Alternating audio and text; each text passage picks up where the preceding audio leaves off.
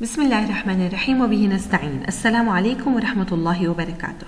معكم الأستاذة ابتسام الكرمي. اليوم سنبدأ بالدرس الثالث والأخير من الوحدة السادسة صفحة 80 بعنوان النفط والغاز الطبيعي. بداية ما هو النفط؟ نلاحظ من هذه الصورة أن النفط هو سائل أسود لزج وجميعنا نعلم أن النفط أو البترول يتواجد في محطات البنزين أو محطات وقود كما تعلمون ولكن لا يوجد على شكل نفط فقط. النفط في محطات الوقود يجزأ ومقسم إلى كيروسين وسولار وبنزين وغيرها. إذا النفط له استخدامات عديدة في حياتنا. ما هو النفط؟ وكيف تكون؟ وكيف يتم استخراجه وتكريره؟ هذا ما سنتكلم عنه اليوم. بداية دعونا نشاهد هذا الفيديو.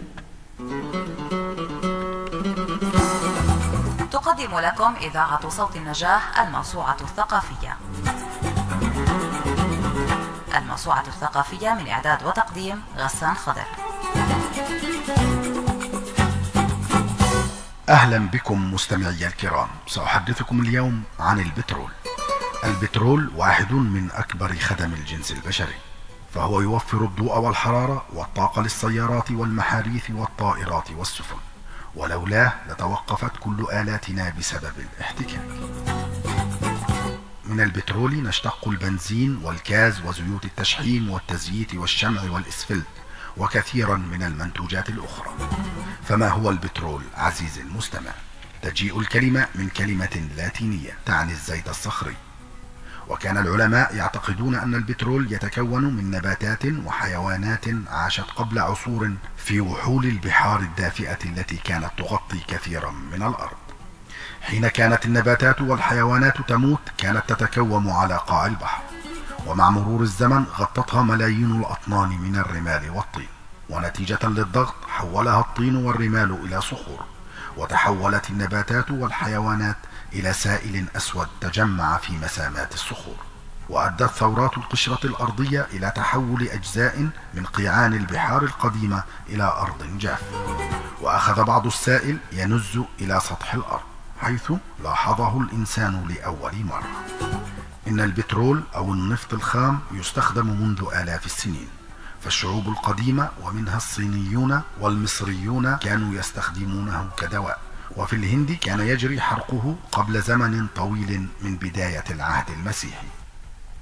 إذا نجد من هذا الفيديو أن النفط له استخدامات عديدة ويستخدم في البلدان كافة ويعتمد عليه الإنسان وهو مصدر طاقة غير متجدد.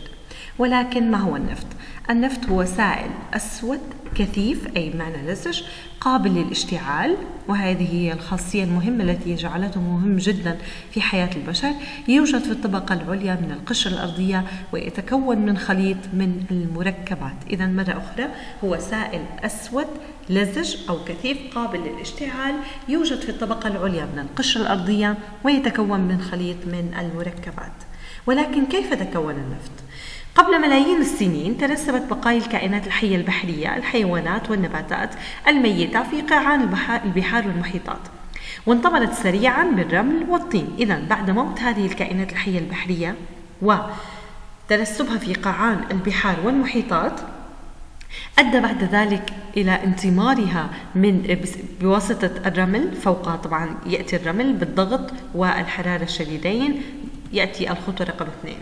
مع استمرار تراكم الرسوبيات ترتفع درجة الحرارة والضغط مما يؤدي إلى تحلل أجسام الكائنات الحية وتحولها إلى النفط والغاز الطبيعي.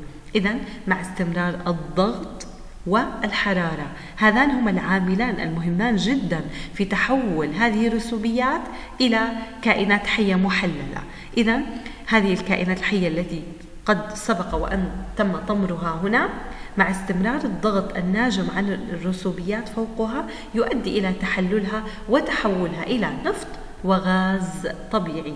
النفط يختلف عن الغاز الطبيعي. بالخطوة الثالثة يتسرب النفط إلى الأعلى خلال الصخور المسامية المنفذة حتى يصل إلى صخور غير منفذة وقد تكلمنا في الدرس السابق عن الصخور غير المنفذة بأنها هي الصخور التي لا تمرر الماء والهواء ولا أي مواد أخرى. هذه الصخور تعمل كطبقة حافظة تمنع استمرار التسرب إلى الأعلى فيحتجز أسفلها. إذا النفط يبقى هنا يتسرب إلى الأعلى من خلال الصخور المسامية المنفذة إلى أن يصل إلى طبقة صخور غير منفذة يحتجز بداخلها. إذا هنا نلاحظ أن النفط والغاز الطبيعي يحتجزان في طبقة صخور مسامية بين طبقتين من الصخور غير المنفذة. إذا فوق هذه الطبقة فوق النفط يكون هنالك طبقة صخور غير منفذة وأسفل النفط أيضا يوجد طبقة صخور غير منفذة.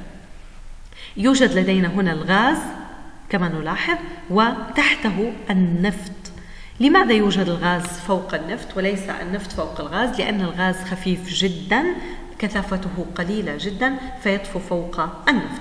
هذا المكان الذي يحتجز فيه النفط يسمى بمصيدة النفط ويستخرج النفط منه إما بضخ الغاز أو بفعل ضغط الغاز. النفط كما نرى يتواجد على شكل بنزين ديزل كيروسين وكاز كيروسين الذي هو كاز وأنواع أخرى. ولكن كيف يتم فصل النفط؟ يتم فصل النفط عن طريق ما, ما يعرف بعملية تكرير النفط.